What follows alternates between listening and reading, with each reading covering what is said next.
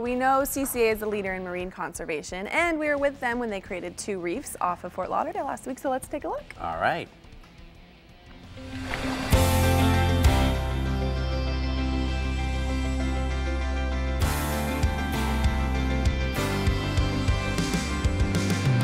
The Florida Insider Fishing Report is proud to team up with CCA Florida and the Building Conservation Trust, also known as BCT as well as Starbright to help make the John Michael Baker Memorial Reef project a success.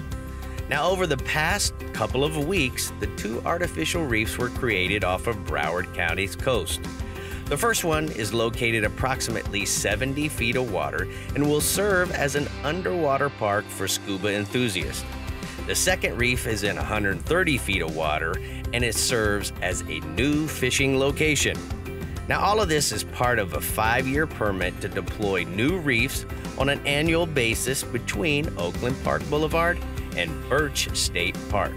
This is a two part project that couldn't have happened without funding from John Michael Baker Foundation and without the assistance of Broward CCA chapter, Broward County, and the St. Lucie County for donating the deep reef materials. A special thanks goes to McCulley Marine for the deployment and to the countless others that have donated funds and volunteered. We certainly can't forget U.S. Concrete Products for donating the 665 tons of concrete material. Guys, it's a win win for marine life, scuba divers, and anglers.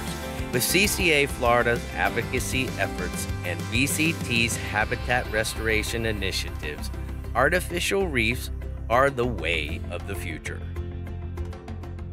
Wow, Rick, that was a really cool project to be a part of, and you really said it all.